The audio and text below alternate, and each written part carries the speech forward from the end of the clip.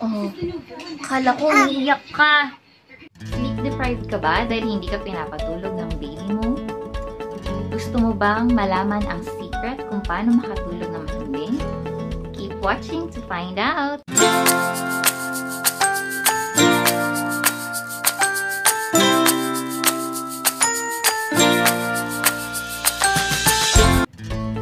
Everyone! My name is Mommy Larice. I am the Queenel.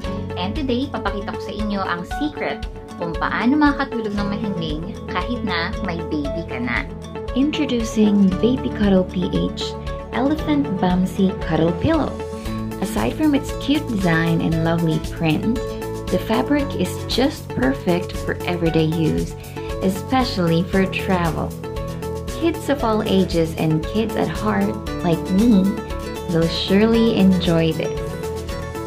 Look at my ate Reese Lorelei sleeping soundly with her elephant Bamsi. And our bunso, Lux Ruth, peacefully sleeping with her little elephant. Ito na ang sagot sa sleep deprivation natin mga mommies. Pag nakatulog ng mahimbing si baby, makakatulog rin tayo ng mahimbing.